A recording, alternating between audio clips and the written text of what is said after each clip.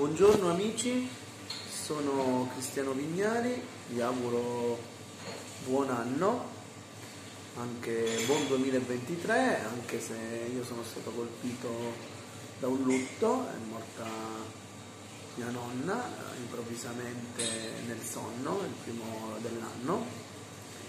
E niente, eh, volevo eh, cogliere l'occasione per parlare dell'inizio di quest'anno, un anno importante eh, sia a livello personale per il sottoscritto che eh, vuole raggiungere gli obiettivi personali, sia un riconoscimento a livello culturale sia a livello economico, eh, ma anche un, eh, un, anno importante per le attività che eh, svolgeremo con eh, il Censorino Teatino e il rilancio anche di Abruzzo Tourism, la nostra società che eh, associazione che si occupa della promozione del territorio abruzzese.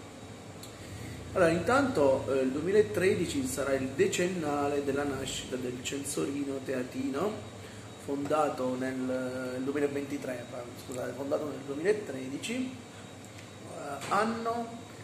eh, a seguito, anno che seguì nei primi mesi del 2013 a seguito della, eh, della lotta per la difesa della uh, provincia di Chieti che capeggiai fra ottobre e novembre del 2012.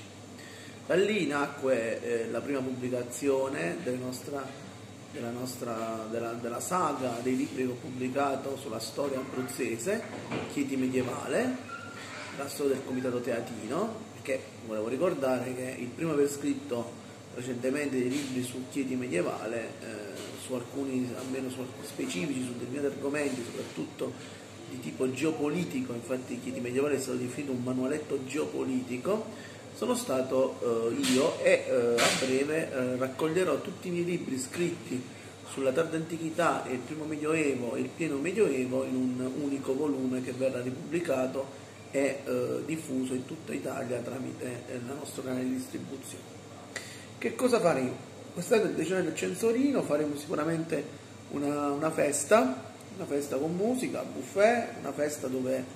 eh, regaleremo ai poveri della città una serie di eh, attività, una serie di vestiti, circa 300-400 vestiti che faremo lavare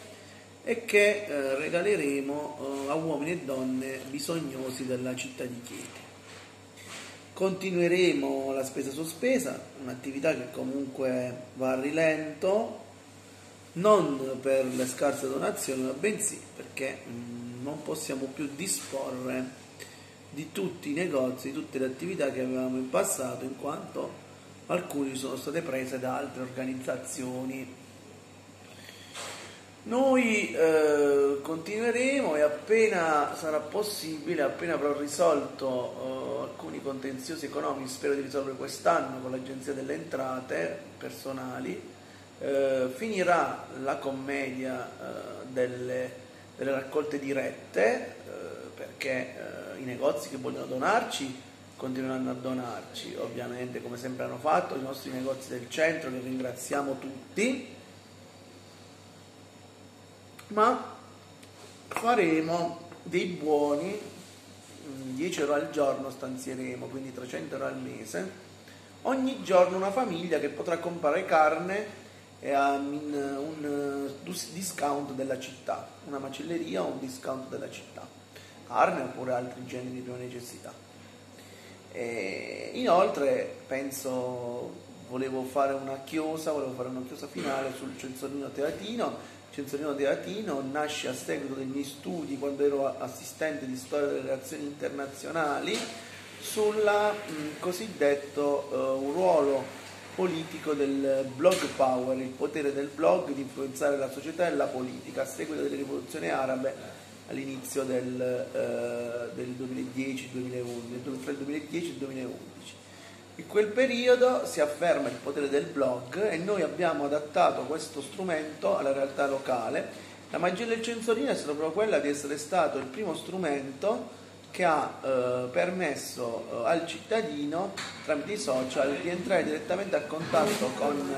la politica e di riuscire quindi a eh, sensibilizzare l'opinione pubblica che prima era completamente sotto l'influenza della stampa, cosa che adesso purtroppo eh, con le nuove censure che ci sono state soprattutto dopo il Covid eh, è una situazione che bisogna rivedere perché di nuovo si sta creando una censura soprattutto a livello mediatico e a livello, quindi, eh, a livello locale una censura eh, dell'informazione, un controllo più forte. Grazie.